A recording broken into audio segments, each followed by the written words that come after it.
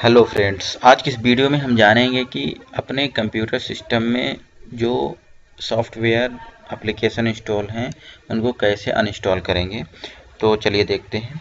सबसे पहले आपको जाना है अपने कंट्रोल पैनल में।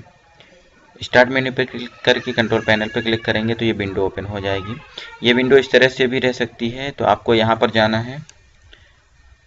प्रोग्राम में अनइंस्टॉल प्रोग्राम या फिर इस तरह कैटेगरी वाइज ये चेंज रहेगी तो भी आप यहाँ पे देख सकते हैं अनइंस्टॉल प्रोग्राम के ऑप्शंस को। ठीक है? ये ऑप्शन आ रहा है प्रोग्राम एंड फीचर्स तो अभी हम यहाँ पे दिखा देते हैं आपको कैटेगरी वाले से ऑप्शन यहाँ पे क्लिक करेंगे। मान लीजिए इतने सारे एप्लीकेशन है, मुझे किसी एक एप्लीकेशन को अनइंस्टॉल करना है। ये कैमटीसिया स्टूडियो हमें अनइंस्टॉल करना है तो क्लिक करना है और ऊपर यहाँ पर जो दिख रहा है अनइंस्टॉल का ऑप्शन यहाँ पर क्लिक करेंगे। तो इसकी प्रोसेस चालू हो जाएगी। यहाँ पर आपसे पूछेगा कि आप करना है अनइंस्टॉल की नहीं तो बोल, यहाँ पर यस क्लिक करना है, इसके बाद प्रोसेस चालू हो जाएगी।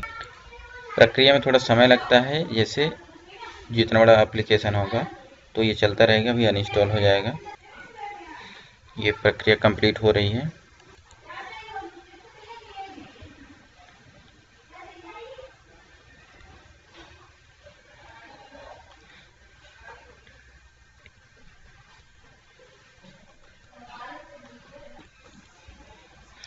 थोड़ा समय और बचा इसमें अनइंस्टॉल होने में। तो यहाँ पर आप देख सकते हैं कैमटीसी स्टूडियो एट था तो एट हट गया है। तो इस तरह से आप किसी भी एप्लीकेशन को अपने कंप्यूटर सिस्टम या डेस्कटॉप सिस्टम से अनइंस्टॉल कर सकते हैं। और इंस्टॉल करने की प्रोसेस भी मैं अगले वीडियो में आपको बता दूँगा। So thank you for watching